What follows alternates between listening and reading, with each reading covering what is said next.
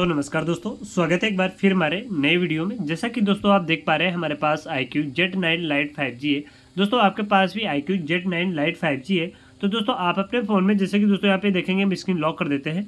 जैसे दोस्तों screen lock कर देंगे तो स्क्रीन लॉक होने के बाद में ये देखेंगे दोस्तों वॉलपेपर जितनी भी बार ऑन आप ऑफ़ करेंगे तो आपका वॉलपेपर चेंज हो रहा है। तो दोस्तों, आप चाहते हैं कि दोस्तों ये वॉलपेपर आपका चेंज नहीं हो रहा है तो कैसे दोस्तों चेंज कर पाएँगे? या फिर दोस्तों चेंज हो रहा है तो आपके फ़ोन की ही फ़ोटो शो हो रही है, और आप कोई भी फ़ोटो शो नहीं कर पा रहे हैं, जो आप फ़ोन के, आपके गैलरी में पड़ी हुई है तो कैसे आप शो कर पाएँगे? जैसे कि दोस्तों यहाँ पे देखेंगे, आप कोई भी कैमरा से हम ये वाली फ़ोटो यहाँ पे क्लिक कर देते हैं। और हम चाहते हैं कि यही वाली फ़ोटो हमारी जो हमने क्लिक की है तो ये हमारी फ़ोटो हमारी स्क्रीन पे देखने को मिले। तो कैसे दोस्तों इस फ़ोटो को आप अपनी स्क्रीन पे शो कर पाएँगे? या दोस्तों आपके कोई भी गैलरी में पड़ी है, अपनी फ़ोटो आप डाले हैं उसे आप शो करना चाहते हैं तो कैसे शो कर पाएँगे? तो यहाँ पे दोस्तों आपको क्या करना है, आप अपनी सेटिंग को ओपन करेंगे।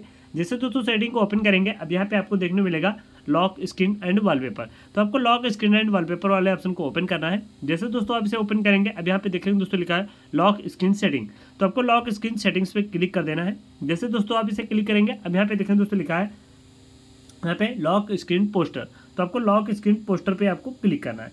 जैसे दोस्तों आप इसे क्लिक करेंगे, यहाँ पे आप एग्री करेंगे। जैसे दोस्तों आप एग्री कर देंगे तो आपका चेंज नहीं हो रहा है तो एक बार इसे आप ऑफ़ करेंगे, इस तरीके से ओके करके।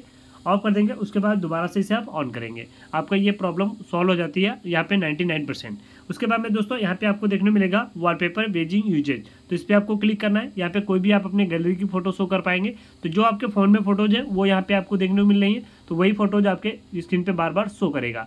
यहाँ पे आपको अपने गैलरी की लोकल वॉलपेपर शूट करना चाहते हैं तो यहाँ पे ऐड लोकल वॉलपेपर्स पे क्लिक करेंगे। और यहाँ पे देखेंगे दोस्तों, अभी एक हमने फ़ोटो खींची और हमारे फ़ोन में कोई भी फ़ोटोज़ नहीं है। तो यहाँ पे हम इस पर क्लिक कर देते हैं।